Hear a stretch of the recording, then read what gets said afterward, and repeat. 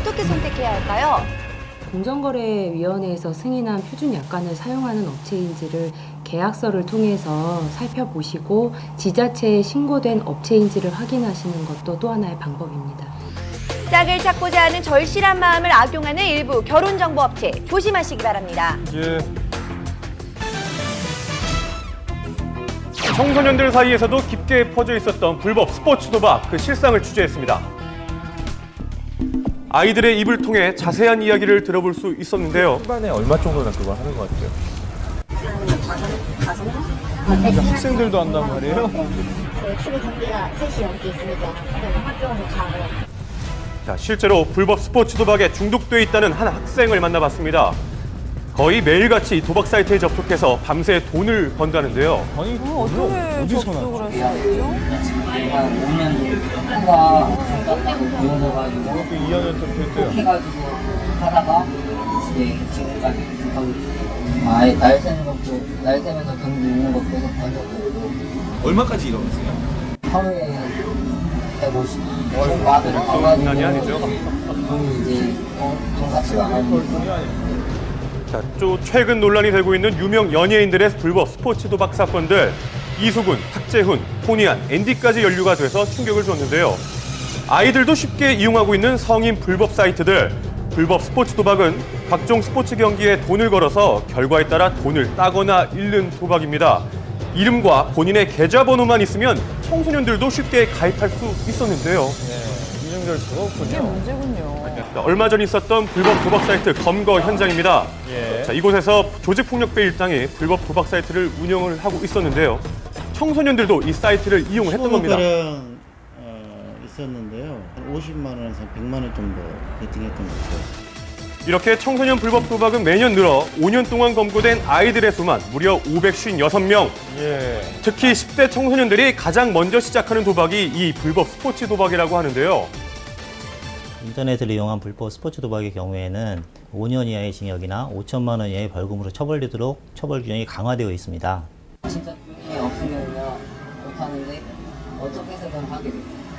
중독이에요. 학생들은 더 빠지기 쉽겠어요. 네, 지금도 늦지 않았습니다. 무료 상담과 치료가 가능하니 꼭 도움받으시기 바랍니다.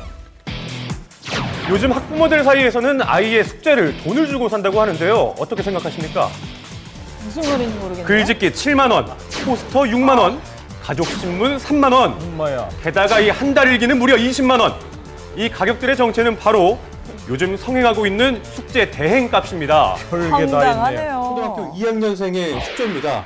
보시면 이 어린아이의 그림체까지 따라한 모습이 한켠 씁쓸하기도 한데요. 이런 숙제 대행이 성행하는 이유는 도대체 무엇일까요? 아니, 저게 자, 숙제를? 대행해준다는 사람을 만나봤습니다. 예. 어떤 사람들이 좀 해요? 학력 올라가도 수익평가 뭐 이런 것도 있거든요. 점수에 좀 민감하신 분들은 수익 평가를 부탁하시는 거예요. 그렇다면 실제 초등학생 자녀를 둔 학부모들은 이 숙제 대행을 어떻게 생각할까요? 얘들 공부할 시간이 그 시간도 부족하잖아. 그럼 그거를 하기 위해서 실제적으로 대행을 충분히 할 수 있을 것 그렇게 같아. 생각하시는 모든. 걸 다 잘하기를 원하는 게 부모 마음이잖아. 그러다 보니까 정말 따내는 부분에 대해서는 이 아이 능력이 안 된다고 그러면 다른 편법을 써서라도 학교 성적 올려서 맞춰 놓- 놓기 위해서 할 수 있을 것 같아요. 부모라면.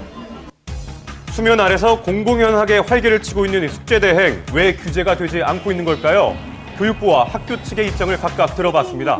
교육부에서 뭐 어떻게 해라라고 뭐 내려온 법률 없어요. 학교에 학칙이 있을 겁니다. 아 그런 분은 없어요. 네, 뭐 그거는 학칙으로 만들 수도 없는 거고. 어떤 학칙이나 법률도 없는 상황. 학생은 그렇게 처벌을 받는다 하더라도 대응한 사람도 처벌을 해야 이것이 없어지지 않겠습니까? 그런 측면에서 관련 법이 조속히 만들어져야 된다고 봅니다. 점수 만능주의가 퍼뜨린 숙제 대행 근절할 방법이 필요하겠습니다. 그럼요. 생각해보면 쉬운데요. 김장 조금 더 편하고 맛있게 할 수 있는 방법을 알고 계신가요? 좋은 방법 있나요? 네, 김장할 때 가장 까다로운 작업은 바로 재료 손질.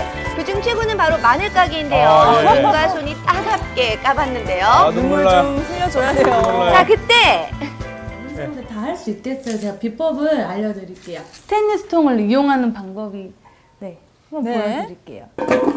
통마늘을 스테인리스 통에 넣고 신나게 흔들어만 주면 예. 짠! 알라리 예쁘게 껍질